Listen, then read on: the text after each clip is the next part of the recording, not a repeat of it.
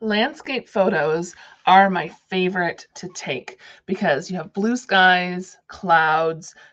This time of year is the fall colors, and um, like just like this one here, the blue sky, leaves, and the road. I love this photo. I I have it scanned in, so I have it digitally, but these photos are pretty old. Maybe I shouldn't say that about myself, but um, it's my these pictures are from Charleston Lake, my favorite spot to camp. Haven't camped there in really, really long time.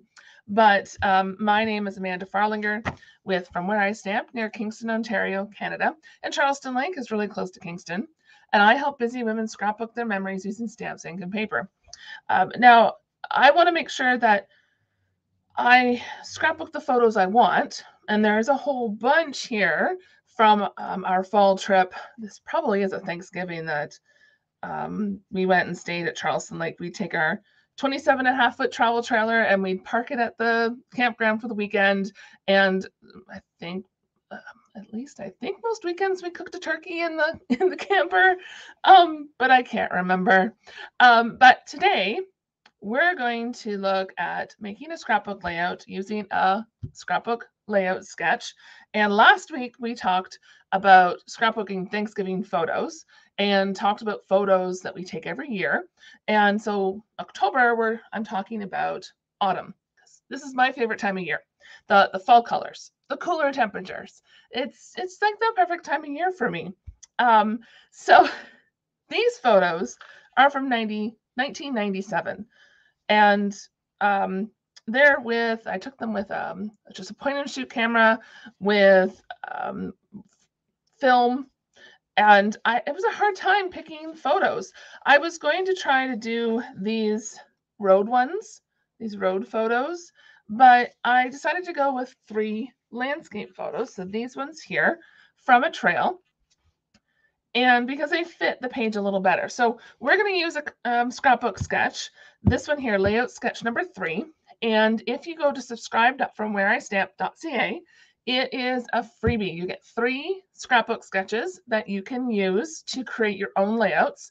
And today we're going to modify sketch number three to do landscape photos, three of them, instead of two portrait photos. So you can take sketches and modify them use the base and just change it up to what you need. All right, so in the mini catalog, the what is it, September to December mini catalog, of course, a lot of it is Christmas. There is some fall things in there. Last week, um, we used All About Autumn designer series paper at least if I'm remembering correctly. I'll have that link to the video below for you if you if you missed last week's video. And next week, I haven't decided on the designer series paper yet, but we will be doing photos of garden. And so I'll I'll show the stamp set at the end. All right, so we're going to use the Joy of Christmas designer series paper today. And you might be going Christmas paper for like fall Thanksgiving, but I want you to look at these patterns. So we have wood grain, we have music notes. You could use the red and you could use the green. So there's pecan, what is the colors? Pecan pie. And I love this about designer paper. Right on the pack, it tells you the colors. So we have cherry cobbler, old olive. Oh, that's old olive. Oh, I guess it's in with the uh, the leaves here because th this here is shaded spruce. So old olive, pecan pie, pebbled path, which is one of my favorite in colors, real red and shaded spruce. So you wouldn't think that Christmas paper you could use for Thanksgiving or for fall, but we're going to do that today. So I'm going to prove that you can. All right, I've already done my journaling, so that way we can just get right into creating this layout. So I've cut up some pages. So we're starting with this. Um, I don't know if it's actual music on here and I I think I have it facing the proper way. And then I have this wood grain, this wood grain. So this is pecan pie. These are pebbled path. This is white with real red. So you can see kind of the Christmassy colors. So you could use this inspiration for some Christmas colors if you wanted. All right, we're going to do some gluing together and then we're going to do some stamping. And we're going to use some watercolor um, techniques. So it's, what's the paper called? What did I do with the paper? Ah, it's hiding underneath my card sketch or uh, scrapbook sketches. All right, so it's a Fluid 100 watercolor paper, and I love putting it in our stamp cases. That you can buy a pack, I think it's four, and I love storing things in there. All right, we'll put some of this glue down on this one, and I cut it so that way the wood grain was going two diff different directions. You see this one is going vertical and this one's going horizontal. That way they weren't going to, to me, they wouldn't clash. So if you want to do it a different way, you can switch this one to horizontal and this one to vertical. I had to think there for a moment. All right, so now we're going to put this. See, this would be a beautiful Christmas layout. And I cut some of the things a little bit big, but if you're not sure what the dimensions are, go to subscribe from where I and um, you'll get the tutorial with all the measurements. So that way you can come back to this video and scrap along with me. And we're to do something like this. Here we go. So I'm doing this a little different. This is wider. This is taller, I think six and a half inches. So take a sketch, change it up, depending. I didn't want a lot of this music um, design to show through. I really wanted this, but I didn't want this to be covered over because this is such a big layer here. So this part in here is so big. I didn't want to cover up that beautiful, beautiful design. All right. So we're going to do some stamping. So I'm going to put this off to the side for a moment. And I've already have some that are dry. I'm going to show you my techniques and we're going to do some die cutting too. So we started, or I started with a piece of the Fluid 100 paper. And then I grabbed three different, this one's pretty old. Cajun Craze has been around for a while. So Pecan Pie, Mossy Meadow, and Cajun Craze are the three inks that I'm using today. And I've used just oops, a clear block and put some on there. So we have our inks. And then I grabbed our water painters. So these come in three, oops, three different sizes. So there's the small, medium, and the extra large paintbrush. And you fill the reservoir with water. So then there's this push here and you just push down here. Let me see if I get this closer to the camera. Push down and the water comes out. So then you can use that to color in, or in this case, I've done like a wash and I've put some, um, you can't really see it because it's white on white, but it's um, the adhesive sheets on the back because we're going to do some die cutting. Okay. Where's my dies? Oh, yes. So we are using the Forever Forest bundle. So this is also in that mini catalog. And although they are pine trees and pine trees do not, or at least they look like pine trees, they don't change color. I've decided they're going to change color this year. And I mean, it, it could be a silhouette of a different type of tree. It, it we just use our imaginations and no one's to, no one's to comment. So we have the Stampin' Cut Emboss mini machine here. It's a three and a half inches wide platform.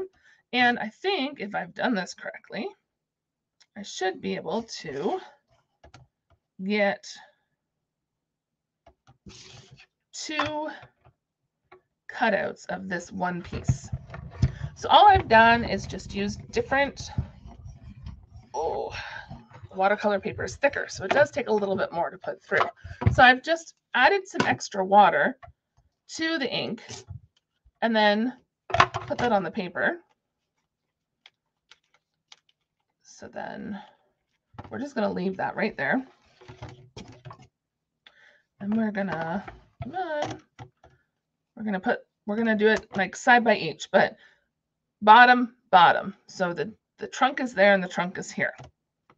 So that way we can get two out of it.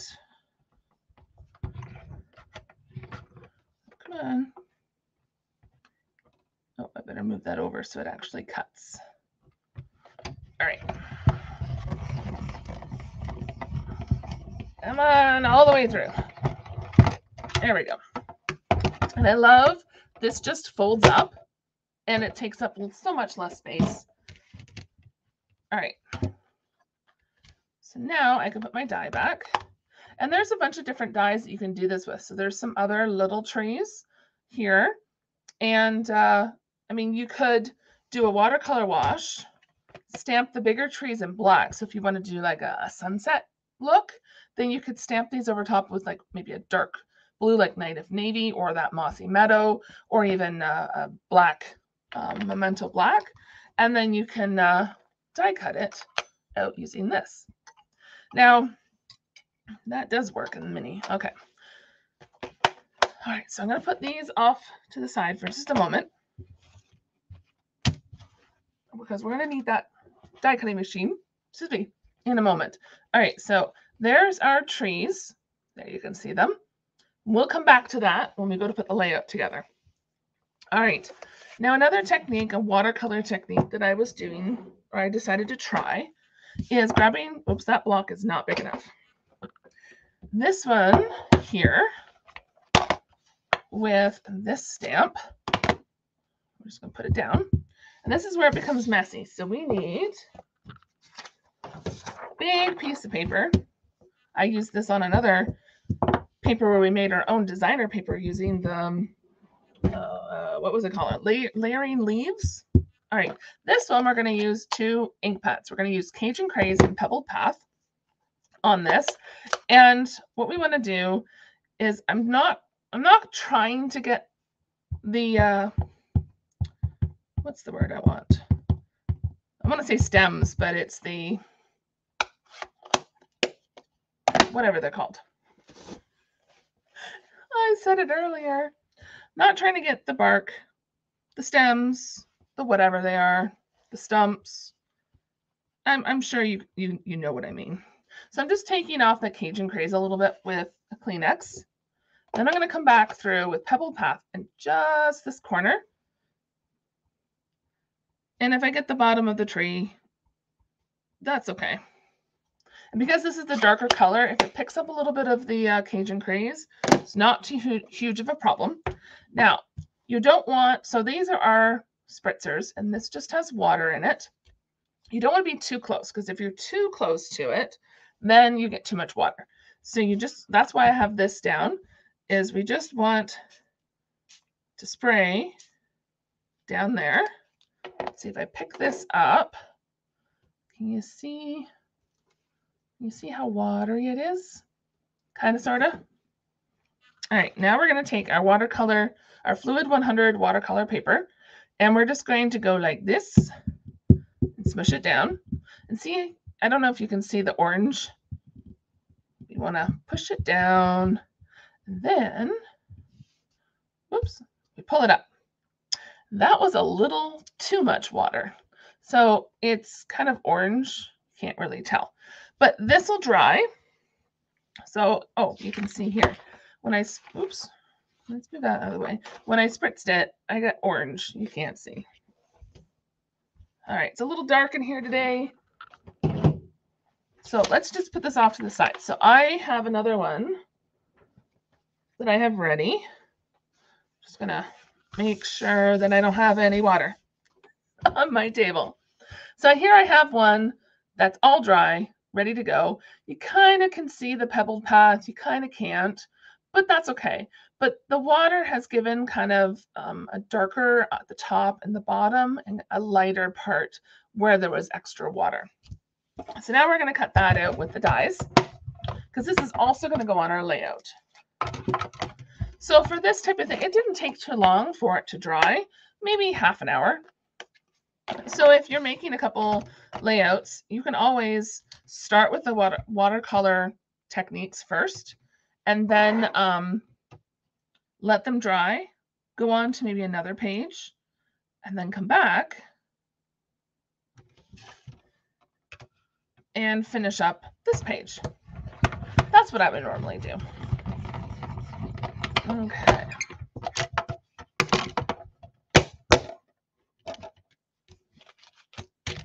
And then we have this die cut trees, watercolor trees with adhesive sheet on the back, ready to go for our layout. So let's put our layout together. Put a few things away. All right, so we have our base, which was, what was it called? The Joy, the Joy of Christmas Designer Series paper. Before I decide where to put the trees, we're gonna look at the photos again. Okay, so I chose three different colors for the photo photo layers, photos mats, whichever, Mossy Meadow, Pecan Pie, and Cajun Craze. And I picked them because this pulled the oranges out of the photo. This one pulled like the orangey brown from the photo, and this one pulled the green out of the out of the trees back here in the background. So it made this pop more for me. So we're going to put this one up top, this one down the bottom, and this one we have dimensionals on the back. So it's going to go here. So now we can use, so I put the photos on the photo mats with Stampin' Seal. So just a little bit in the four corners of the photo. And then that way, if you need to take the photos out later for some reason, then you're able to do that. Okay. So we're going to put this one about here. And then we're going to put this one at the top about the same um, distance from the side.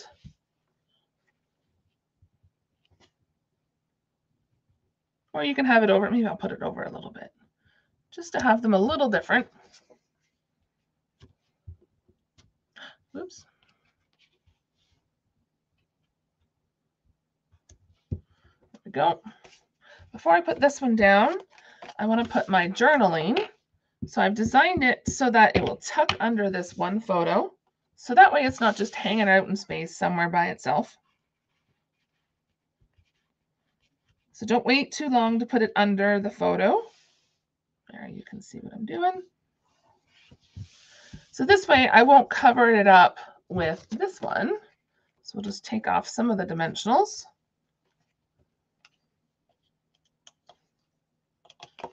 Okay, like so. Make sure I put the photo the right way up. Okay, make sure you can see this. And then I think I won't cover up the edge, but I'll come close. Oh, whoops. Silly me. So, because this is going to be on photos, because you want to make sure you can take the photos out later if you want. I'm just going to put these covers back on. And to take the center one off. So you can leave those on. And then this way they won't sit on the photos. So if you have to take these out later, you can. And it's going to be in a page protector, so it's not too huge of a problem. Um, it's not like you have to have it really secure down. All right, so there we go. So this one here, now because this isn't an intricate one like this larger tree, you can you could have I could have just used the multi-purpose liquid glue, but it was just easy to put it down before I cut it out.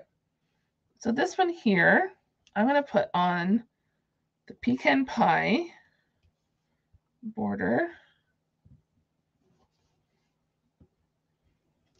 Oops. And like that. There we go. And this one are you going to come off? Are you going to make it hard for me?